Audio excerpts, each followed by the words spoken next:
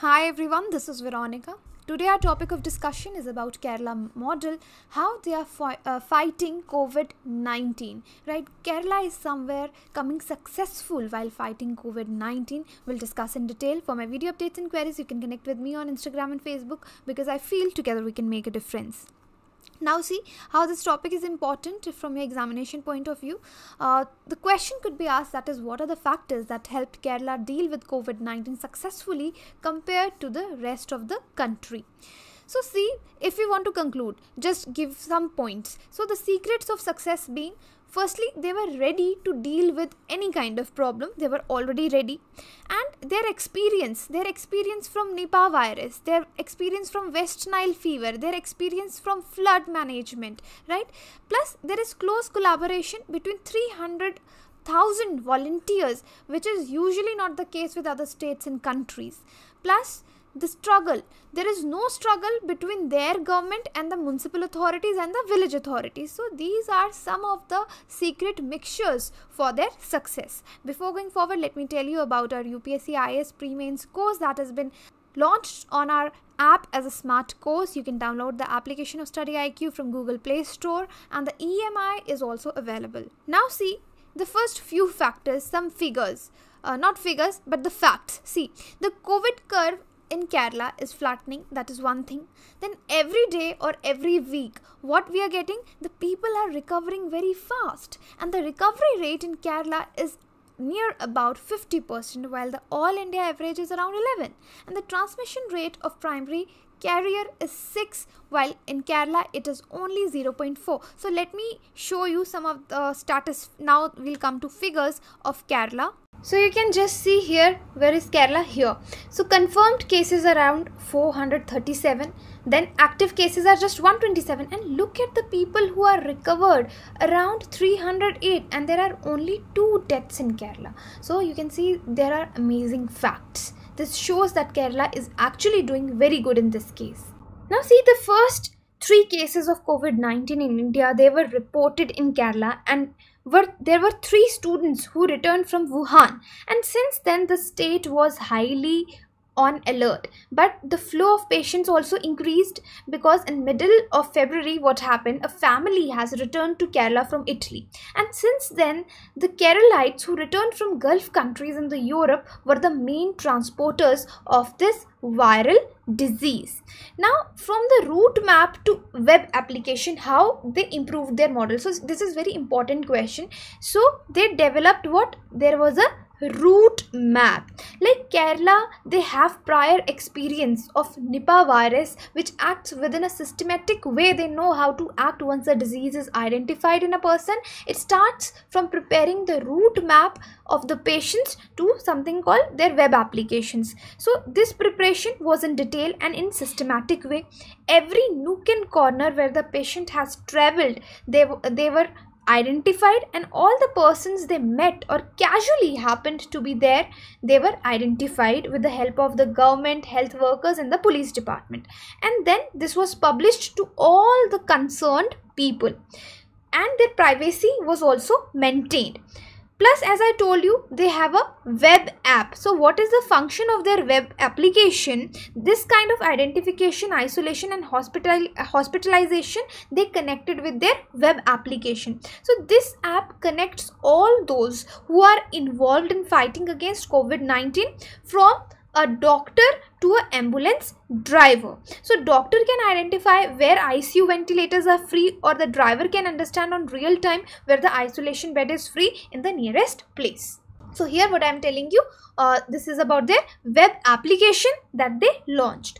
Plus, they started working on conversion of train wagons in hotels, hostel resorts, houseboats, everything they had to isolation beds. So, the construction of hospitals in India in 10 days is not possible.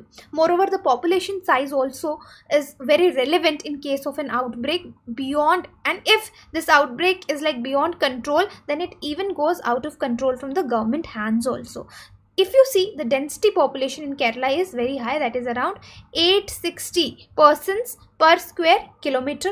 So to fight against the non-adequacy of the available hospital beds, the government what they did they immediately thought of converting unutilized train wagons into isolation rooms. It had been already implemented to a quite good number beds. Then the student their hostels of each district and provinces they were identified and controlled by the local health inspectors and calculated the total capacity of convertible isolation beds there.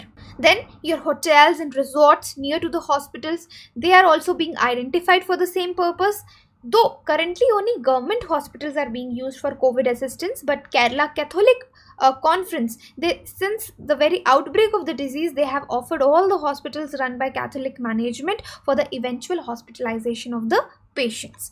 Now another question is how possible is the coordination of volunteers because I uh, told you what is the USP of Kerala model.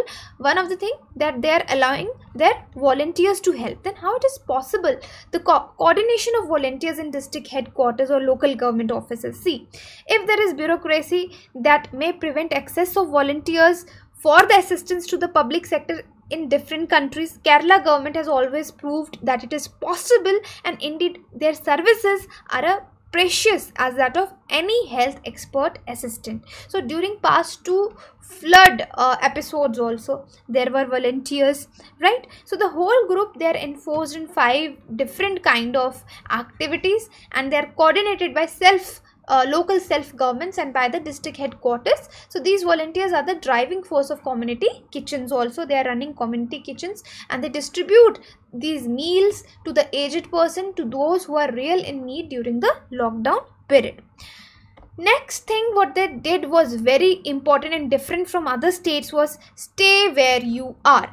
So a big hurdle to overcome is the migrant workers from north india who are present in the state territory as soon as the Prime Minister announced a countrywide lockdown on 24th March, thousands and thousands of migrant laborers they were stranded away in different cities of India. So what happened? What we saw in news, the migrant laborers were being forced to leave the different cities in North India. But Kerala government took proactive steps to ensure the welfare of them. So in Kerala, very cautiously, these migrant people from West Bengal, Bihar, Orissa, they are called guest workers. So they are not, uh, you know, uh, just uh, called from their native places names. They are called guest workers. Their dignity is maintained. So that dignity is granted to them through different groups among these workers. They protested. They wanted to go. They wanted they asked the government how will how will they survive in the state? But then state provided them with everything until the train convenience was uh, resumed arranged. They were uh, they were provided with the food and accommodation so this i would say is the best step they took in the, for the cause of humanity also and to fight covid-19 also. So in the end i would say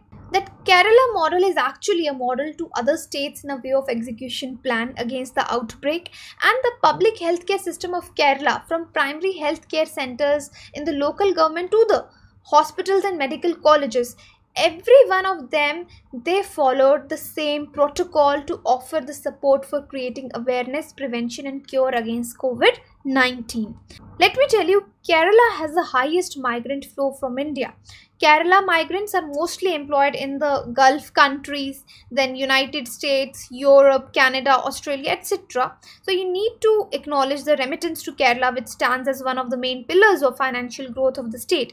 So as the whole world is locked down, a good number of Keralites are held up in different countries. So Kerala state government is insisting central government right now to bring back all Keralites who wish to return to the home state and health sector is already much advanced and now they're prepared to even uh, you know this that even if these migrant people not migrant they're people who are living outside india they come back they're ready to manage them also all will be kept in quarantine for 14 days either at their own house or at public healthcare centers so in the end, I would say it is too early to declare Kerala as a success story. Still, there are many lessons to be learned from rest of the country in its fight that lessons we need to learn from Kerala for our fight against COVID 19. So, this statement I really like. A political system does not create a society, it's the character of people that enables political system. So, definitely, people of Kerala are also contributing to this fight along with the frontline fighters. So, this is all about today's lecture.